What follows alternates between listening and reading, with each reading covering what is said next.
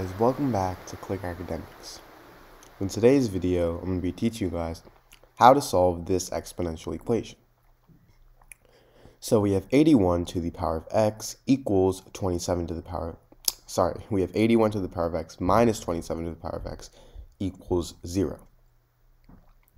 Now, what I'm first going to do is I'm going to change 81 to 3 to the power of 4. So I'm going to replace 81 with 3 to the power of 4. So now we have 3 to the power of 4 to the power of x minus, now I'm going to change 27 to 3 to the power of 3. So now we have 3 to the power of 3 to the power of x. And this is equal to 0. Now, if we have something in the form a to the power of m to the power of n, this is actually equal to a to the power of m times n.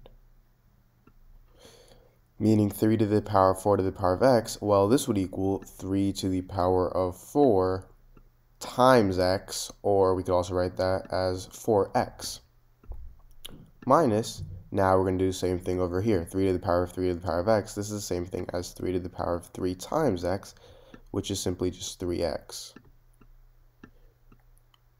Now this is equal to 0. Now I'm actually going to add 3 to the power of 3x on both sides.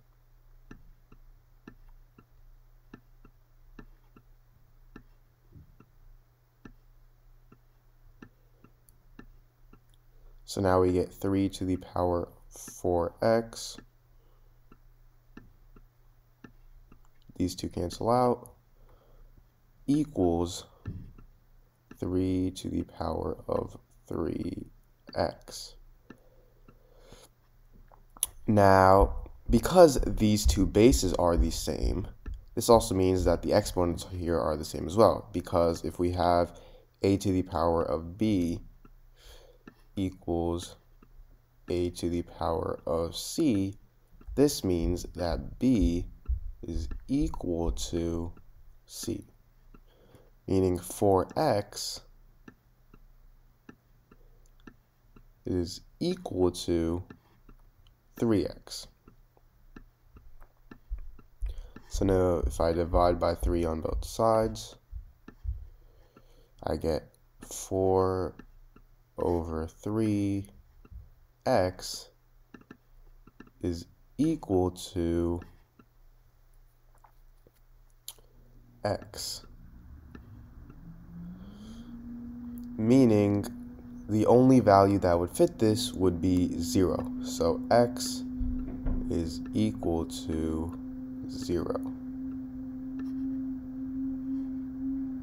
And as you can see, if we plug 0 in for this equation, we get 81 to the power of 0 minus 27 to the power of 0 equals 0. And anything to the power of 0 is 1. So we get 1 minus 1, which does equal 0.